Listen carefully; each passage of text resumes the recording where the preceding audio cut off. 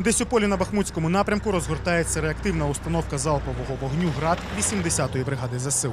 Бійці щойно отримали координати артилерії противника. Розрахунок працює максимально швидко, щоб не засікли.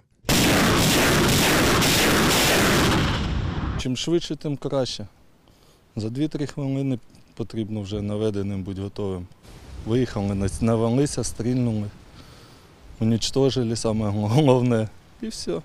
І назад сховалися, щоб ніхто не бачив. Бійці цієї реактивної артилерійської батареї зізнаються, у ці дні буває так, що цілі є, але вражати їх доводиться іншим підрозділам, оскільки на цій ділянці фронту противник часто штурмує малими групами, а реактивникам потрібні цілі побільше.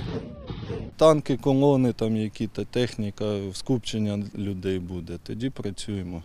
А на 2-3 чоловіка витрачати снаряди з таких машин не, цілесообразно. Мені здається, це вже не відповідає е, старим радянським оцим філософіям. Величезну кількість задавити противника величезним вогнем, там е, як це вогняний вал, там і все таке. Типу, мені здається, що від цього відходять і зараз вже більш точково. Це і ефективніше, і дешевше. Мені здається, що в цьому майбутнє. Щоправда, командир підрозділу пригадує, що так званий вогневий вал із градів і не тільки став у пригоді рік тому, коли російські війська намагалися форсувати Сіверський Донець у районі Білогорівки на Луганщині, втративши при цьому десятки одиниць техніки. Та ж сама Білогорівка, величезна кількість техніки зруйнована. Туди стріляла вся артилерія нашого всесвіту. Ну туди все летіло. То там гради працювали дуже багато, і це було дуже успішно. Е, Чим більше вони розосереджують свої сили, тим нам складніше. Але в таких умовах можна нормально працювати. Після бойового чергування бійці маскують російську модернізовану РСЗВ Торнадо Г. Цей трофей вони захопили ще в Миколаївській області.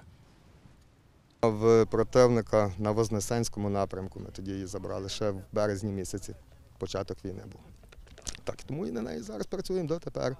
Гарна машина, кушно б'є, стріляє дуже гарно. Так. Цю відносно нову бойову машину 14-го року випуску з невеликим пробігом бійці назвали Маестро на честь свого водія Ігоря. Ну є ще новіше. Хлопці мені зробили такі номера. Щоб ми не забували, чия машина їде. До війни Ігор працював у сільському господарстві, орав поля на тракторі, керував комбайнами. Але товариші по службі назвали його маестро не тільки за водійський професіоналізм, а й за давню пристрасть до музики. Закінчив музичну школу, колись давно грав по весіллях. Та й так, залишилося.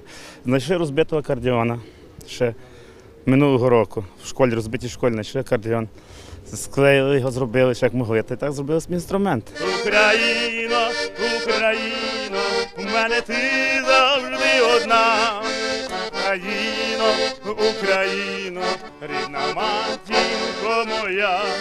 Олексій Продаєвода, Микола Рищенко та Андрій Устінкін. Радіо Свобода, Україна.